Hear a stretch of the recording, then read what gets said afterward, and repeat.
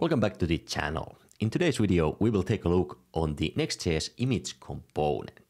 So whenever you are using images, you should use the image component because it offers so many good features and extensions to the actual HTML IMG tag. Some of these benefits are, for example, the size optimization, which means that Next.js will automatically serve correctly sized images for each device using modern image formats like WebP and AVIF.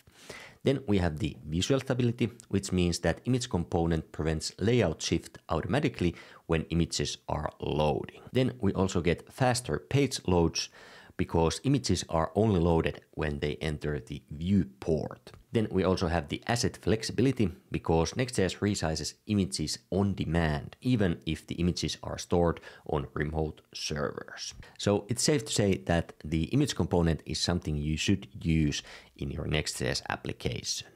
So today we'll take a look on how to properly display images using first local images and then also with remote images, even if you don't know the width or height of the images. And there are some differences in the configurations we need to do between these two options. After this video, you will be able to confidently use the image component and know you are utilizing it fully to improve your application performance and user experience. I also created a cheat sheet for using the image component, so you can use it as a quick reference when working with the image component.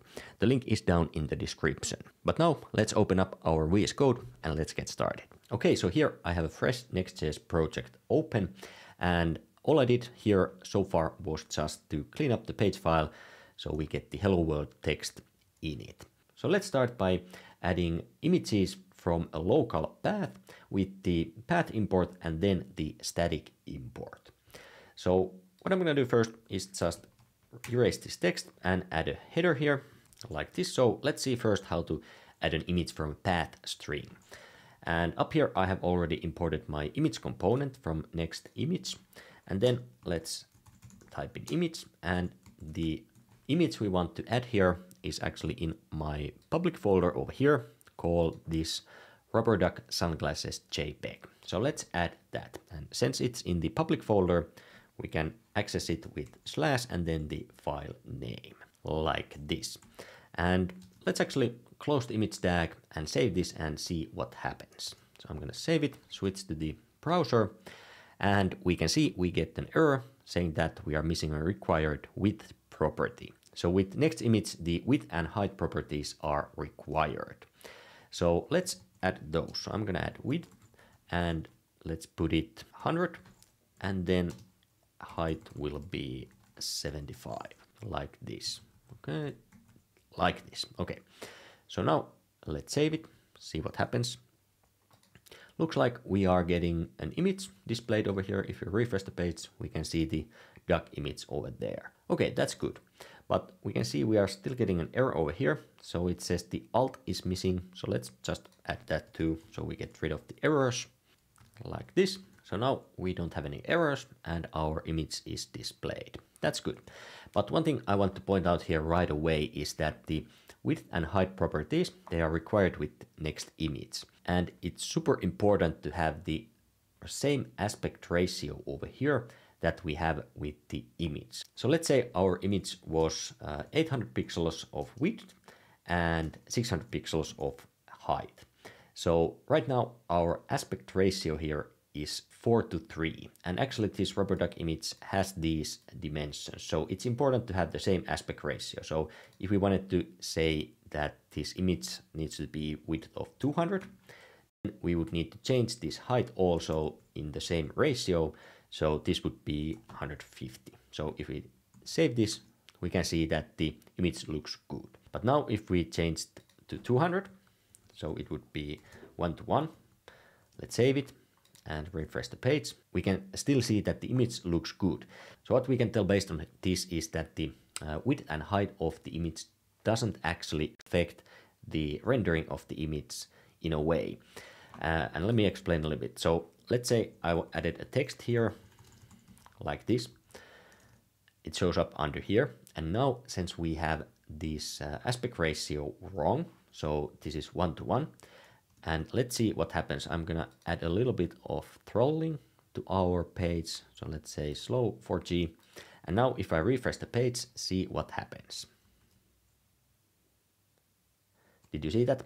The space reserved for this image was higher and once the image was uh, downloaded and rendered, it took only the height of 150 over here.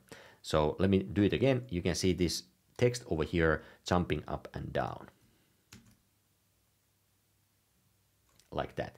So the width and height of the image component in Next.js tells to the browser how much space it should reserve for the image. And once the image is downloaded, it is rendered based on the width. So if the aspect ratio is wrong, it will cause this uh, layout shift over here, what we just witnessed. So that's why it's important to have the correct aspect ratio for your images. So let's add the 150 here. So now the aspect ratio is correct for this. Save it and let me refresh the page and let's see if the layout shift still happens. Okay, so we can see that it downloaded the image and it reserved the right amount of space for that image. Okay, so now let's see how to add the same image with a static import. So I'm gonna add a heading here again, like this. So now let's add the image component and for the src, right now, we don't want to pass in the path for the image, but rather a static import. And what that means is that we need to import that image up here. So let's do that like this. So you are importing the image like you would any other component, for example. And now as a src prop, we can provide the duck image like this. Let's add an alt like this and close the image tag. Now let's save and let's see what happens. So I'm going to switch the browser and looks like we get our image displayed. So if you noticed here, we didn't need to define the width or height properties. And that is because we are importing the image up here. So Next.js can uh, read and it knows the dimensions of that image. So it can right away reserve the correct amount of space for that image. So now if we wanted to make it a little bit smaller, so let's say we want to make it width of 100, we can just add the width property over here, like this, save it, let's see what happens. Looks like it's displayed in a smaller size. And again, we don't need to now define the height property because Next.js can read the dimensions of the image and then when we set the width of the image, it can automatically calculate what the height should be or what kind of space it should reserve for that uh, image size. So let me just demonstrate it. So if we add the text below the image and save it, now if I refresh the page, you can see there is no layout shift because Next.js can automatically reserve the correct amount of space for that image. One other thing that we can easily do with the uh, statically imported images is to add this placeholder blur. We can do it with this kind of import also, but it's super easy to do with the static imports. All we have to do is set placeholder and set it to blur like this. So now if we save this, switch to the browser and let's refresh the page and see what happens with this image. It went quite quickly. Let me add some more throttling. Let's refresh again. Okay, there you saw it.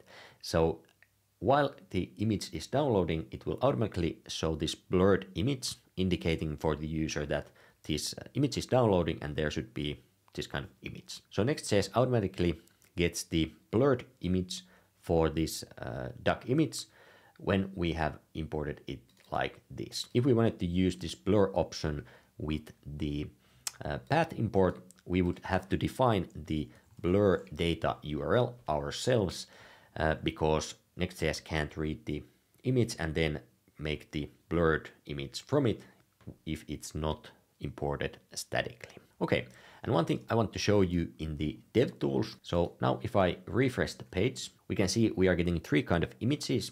So here the URL for the image is from the slash underscore next slash static and so on.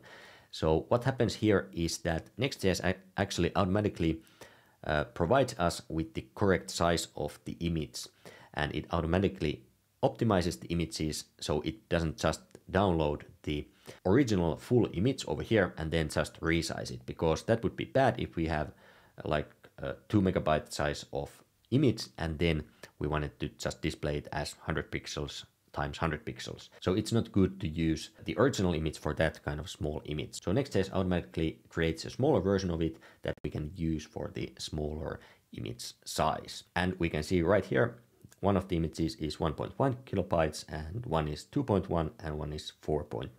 So basically you don't have to worry about resizing your images to the correct size for different use cases, but you can just have a one image and import it wherever you want and the image component will take care of optimizing it for you automatically. Okay, so now let's see how to add images from a remote location. So basically with an URL from another server. So let me just add a heading over here again like this and then add the image. And for the source, I'm going to use this URL. So this is a URL that we can get an image from. It is generated. So this is the image we will get.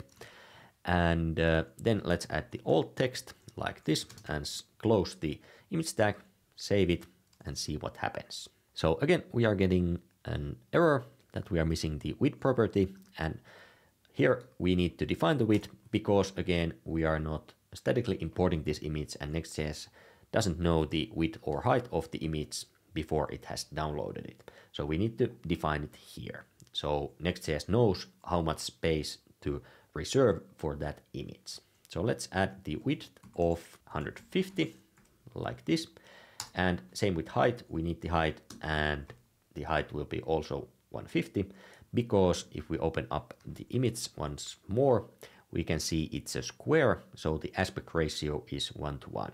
Okay, now let's save this, switch to the browser, and we can see we get an other error. So it's saying that the hostname needs to be configured under images in our Next.js config.js. So we need to tell Next.js from which addresses uh, it's allowed to import images from. So let's do that. Open up the Next.js config and inside of the config we will add the following configuration like this. So inside the images and remote patterns we are setting all the URLs we want to allow images to be imported. So in this case we are setting the protocol, host name, port and path name. And when we set the path name like this, it is allowed to import any images from this domain. But if you are using some CDN or Azure AWS or something like that, and you have a folder for your images, add it here because it's not the best practice to allow all of the images to be imported from a certain domain. But for this demonstration purposes, and since our URL looks like this, so we are just generating the image right here, we are not adding any path names. But if you have a folder that you can add there, do it because it's much more secure. But now let's save this and refresh our page and see if it works out. Okay, so looks like we are getting our image displayed over here and it looks good. So it's 150 width and height. So in this case, we knew the size of the image, but of course there are situations when we don't know the size of the image, but we still need to add it to the uh, web page. So let's see how to handle those cases now. So what I'm going to do is again add a heading here like this, and then let's add a p tag and inside of that our image. So I'm gonna use the image and src is the same as before and let's add an alt and now since we don't know the width and height of the image what we can do is add the fill parameter and let's close the image tag and save it and see what it looks like now. Okay, so now we can see that the image is filling up the whole web page and that's not what we want. Okay, so what the fill property does it fills up the uh, whole space of the parent element. So in order for us to display the image correctly, we need to define some configurations for the parent element of this image component. And in this case, it's the uh, p tag. And these properties are just uh, CSS properties. So I'm going to add style. And the first one we need to define is the position of the element. And I'm going to set it to relative like this. And then I want to define the width of the image. And in this case, I'm gonna set it with CSS over here. So I'm saying that the width should be 400 pixels, like this. And then I'm gonna say that I want this to be also height of 200 pixels, like this. So let's save this and see what it looks like in the browser. Okay, so our image is down here and we can see that it takes 400 of width and 200 of height. But the aspect ratio is now uh, a little bit wrong because remember this image had the aspect ratio of 1 to 1 but now since we defined the height of 200 and width of 400 the aspect ratio is 2 to 1 with those dimensions. And this is not what we want but again let's assume that we don't know the dimensions of the image that we are displaying. So the solution for this is to use something called object fit. So let me change back to the VS Code and for the image component, I'm gonna add a style prop and define an object fit and set it to contain like this. So now let's save this, switch to the browser and we can see that the image looks good now. But as you can see, there is this big white space on the left hand side of the image. And that is because our container, the p element, is still width of 400, but since the height is 200, it, and we are using the and object fit contain, the image is displayed as a height of 200 and width of 200 because the aspect ratio was 1 to 1. Let me demonstrate this by adding the good old border for our container like this and save it. And now you can see that the image is just horizontally aligned to the center of the container. So let's say now that we wanted to make this a little bit smaller image. So let's say we wanted it to take just the 200 pixels of width and 100 pixels of height. So now let's save it. And now we can see that the container of the image is smaller and so is the image inside of it also. And let me add some text below the image right here. And let's test the layout shift again. So now I'm gonna add a little bit of throttling and let's refresh the page. And we can see there is no layout shift because the Next.js knows how much space to reserve for this image before the image is downloaded. So this was kind of the explanation of how the image component works in Next.js. Again, I made a cheat sheet for the image component that you can download from the link in the description. So you can reference that when you are using the image component. And for me, it has been a great help because I don't always remember all of this, but when I open up the cheat sheet, I can right away see uh, what I need and then get my job done faster. But I truly hope you found this video at least somewhat helpful and maybe learned a thing or two about the Next.js image component. And if you did, please leave a like below and subscribe for the channel for more Next.js content.